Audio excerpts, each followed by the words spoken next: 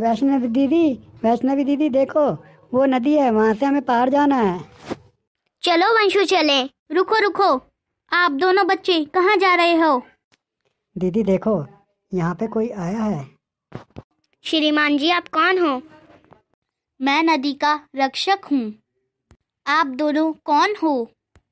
नमस्ते जी मैं वैष्णवी हूँ। ये मेरा भाई वंश है। नमस्ते जी। आप दोनों नदी पार नहीं कर सकते। पर क्यों? जो मेरे प्रश्नों का उत्तर दे सकता है वही नदी पार कर सकता है। श्रीमान जी आपके प्रश्न क्या है? पहला प्रश्न ऐसा कौन सा फल है जो सब्ज़ी बनाते समय प्रयोग किया जाता है? ऐसा फल टमाटर है। वैष्णवी आपका उत्तर ठीक है।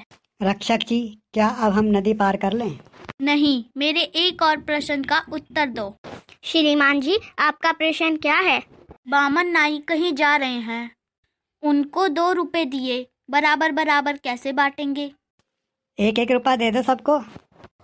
परंतु यह कैसे संभव है? बामन का अर्थ ब्राह्मण होता है। बामन और नाई दो व्यक्ति होते हैं इसलिए दोनों को एक एक रुपया दिया जाएगा। आपके उत्तर ठीक हैं। आप दोनों अब नदी पार कर सकते हो। दीदी क्या हम जीत गए?